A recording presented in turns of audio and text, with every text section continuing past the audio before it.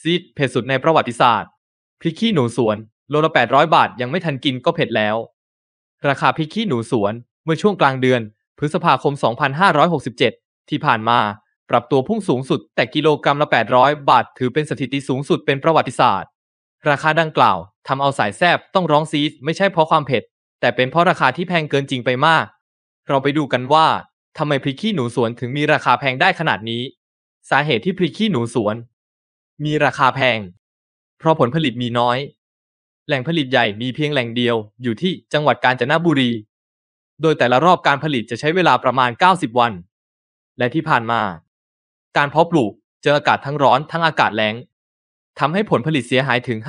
50%และพอมาช่วงนี้ฝนตกชุกทำให้เกิดปัญหาเชื้อรา ผลผลิตจึงลดลงไปอีก ส่งผลให้ผลผลิตขาดแคลน และราคาปรับตัวสูงขึ้น นายวศักดิ์เสือเอี่ยม อธิบดีกรมการค้าภายใน ชี้แจงว่าพริกที่มีข่าวราคาขยับขึ้นไปถึงกิโลกรัมละ 800 บาท เป็นพริกขี้หนูสวนหอม ซึ่งกรมได้ประสานพาณิชย์จังหวัดในพื้นที่ที่มีข่าว ให้ลงไปตรวจสอบราคาในตลาดสด และตลาดต่างๆ แล้ว พบว่าไม่มีราคา 800 บาทต่อกิโลกรัม แต่ราคาที่สำรวจเจออยู่ที่เฉลี่ย 600ถึง650 บาทต่อกิโลกรัม ทั้งนี้ต้องทำความเข้าใจกันก่อนว่าพริกขี้หนูมีหลายชนิด โดยราคาที่ปรับตัวสูงขึ้น คือ ริกขี้หนูสวนหอม ซึ่งเป็นพริกชนิดพิเศษ เป็นพริกที่นิยมนำไปทำน้ำจิ้มซีฟู้ดเพราะหอมพิเศษ รสชาติจัดจ้าน เมื่อแหล่งผลิตแหล่งเดียวที่จังหวัดกาญจนบุรี ผลผลิตลดลง แต่ความต้องการยังเท่าเดิม ราคาจึงปรับตัวสูงขึ้นกว่าปีที่แล้ว โดยเท่าที่สำรวจราคา พบว่าราคาปีที่แล้วอยู่ที่เฉลี่ย 320-450 บาทต่อกิโลกรัม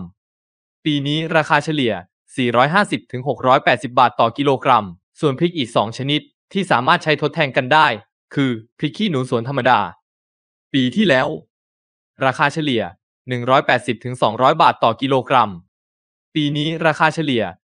200-240 บาทต่อกิโลกรัม จะเห็นว่าราคาใกล้เคียงกัน ราคาไม่ได้เพิ่มขึ้นมากนะ และพริกขี้หนูจินดา ปีที่แล้วราคาเฉลี่ย 80 บาทต่อกิโลกรัม ปีนี้ราคาเฉลี่ย 80 บาทต่อกิโลกรัม ราคาเท่ากัน สำหรับการแก้ไขปัญหา กรมการค้าภายในได้ประสานนำพริกขี้หนูสวนจากแหล่งผลิตอื่น